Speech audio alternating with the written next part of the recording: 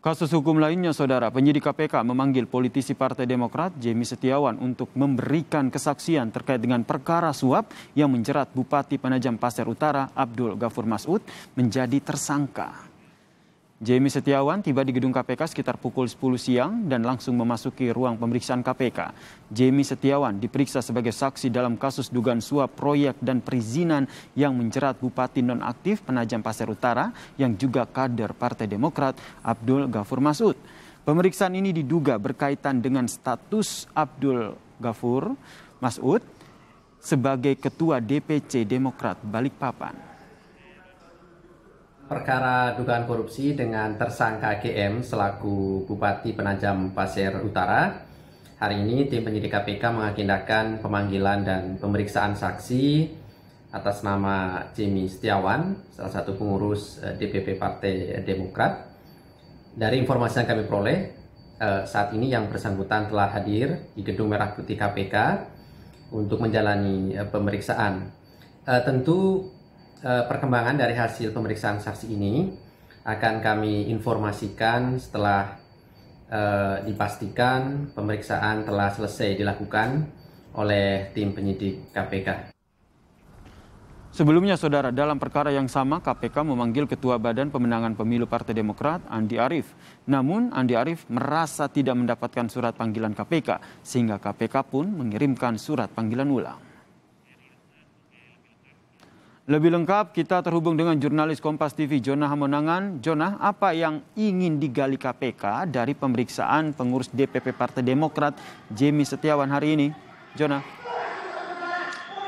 Ya, ya, share terkait dengan pemeriksaan yang tadi berlangsung selama empat setengah jam, penyidik KPK fokus kepada aliran dana khususnya terkait dengan musda atau musyawarat musyawarah daerah, di mana kita ketahui bahwa Bupati nonaktif Penajam Pasir Utara Abdul Gofur maju sebagai kandidat calon DPD Partai Demokrat Kalimantan Timur. Jadi memang lebih fokus kepada aliran dana kepada uh, James Setiawan, apakah ada aliran dana atau tidak. Jadi memang fokus dari penyidikan adalah lebih kepada hal teknis, lebih kepada seperti kena atau tidak, dan juga kepada benarkah ada aliran dana. Dan itu memang lebih penting dikarenakan memang uh, adanya dugaan penyidikan korupsi ini tidak hanya lebih kepada seperti adanya pengadaan barang dan jasa, tapi juga untuk mengetahui terkait dengan sosok dari uh, sosok dari Bupati Nonaktif Penajam Pasir Utara. Tadi juga ketika ditanya awak media, uh, juga ditanyakan mengenai adanya hubungan dekat dengan Andi Arief atau tidak, tapi tadi ditegaskan oleh uh, Jamie bahwa Andi Arief sendiri lebih fokus kepada Bapilu. Jadi memang tidak ada hubungannya dengan adanya pengadaan uh, barang ataupun terkait dengan adanya urusan dengan Musda. Jadi memang fokus uh, pemeriksaan yang digelar hari ini selama kurang lebih empat setengah jam lebih kepada teknis khususnya terhadap Musda itu sendiri. Berikutlah wawancara kami terhadap kader Demokrat Jamie terkait dengan pemeriksaan yang tadi digelar selama setengah jam, di mana fokusnya adalah lebih kepada pemeriksaan terkait dengan aliran dana uh, musda atau musyawarah daerah. Hanya menjelaskan seputaran prosesnya, proses musda. Oh, proses musdanya.